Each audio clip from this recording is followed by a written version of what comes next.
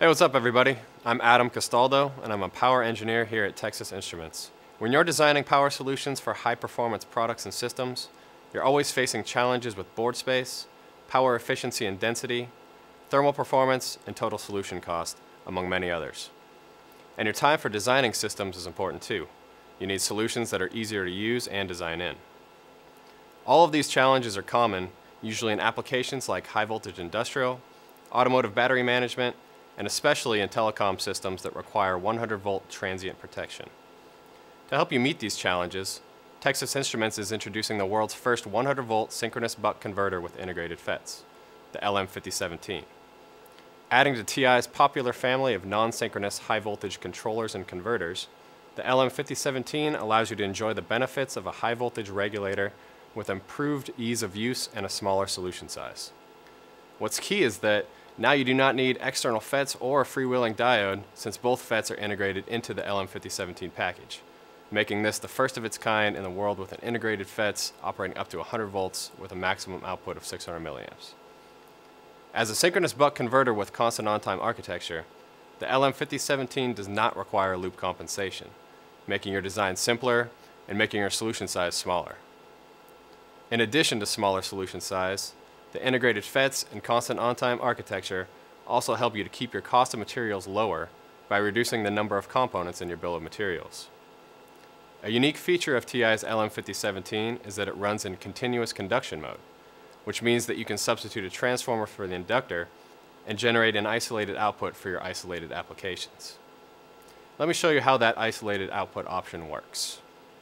What I've got on the bench here is our isolated eval board with the LM5017 right in the middle. And here's the transformer. And you can see the two isolated outputs, the primary side and the secondary side here.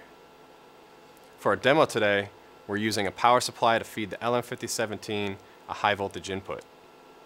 On the first of these multimeters, we're showing the input voltage, and as you can see, it's being cycled from 25 volts up to 65 volts. On the second multimeter, we're showing the primary side output voltage, regulated to 10 volts. This is an adjustable output part, so you just set the resistors to set the output voltage. The third multimeter shows the secondary output, and you can see that it's a little bit lower, which is due to the diode on the secondary side. But it is a one-to-one -one turns ratio, so both are going to be in the neighborhood of 10 volts. Now, what you see over here on the oscilloscope is the switch node voltage, and you can see that it's getting taller as the input voltage increases. It's also getting narrower as the on-time decreases to keep the output voltage stable at about 10 volts. So the LM5017 is versatile enough to be used as a traditional synchronous buck or to generate stable, accurate, isolated output voltages as well, giving you the option to design with either of two different topologies.